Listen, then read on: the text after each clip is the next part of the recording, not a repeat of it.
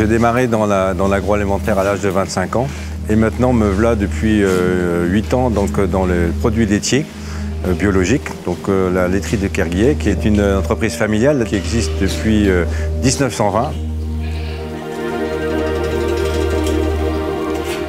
Donc ici, on a choisi de créer notre propre filière, que ce soit pour la chèvre et pour la brebis. Donc nous avons installé des producteurs. Donc euh, ça a été un, travail assez long, hein, puisque euh, entre la conversion et la, première traite, il peut se passer jusqu'à trois années.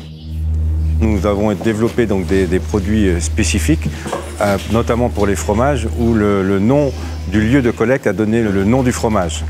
Le fromage donc sélectionné par Métro, le, le Grand Champ, une tome pas de pressée non cuite avec un affinage de 8 à 9 semaines qui n'est pas mélangé avec d'autres laits, qui sert uniquement à fabriquer ce fromage, d'où le nom Grand Champ.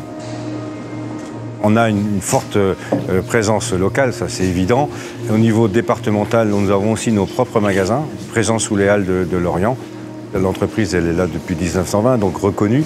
Mais le circuit bio s'étant euh, développé, nous avons suivi donc, le développement de la bio.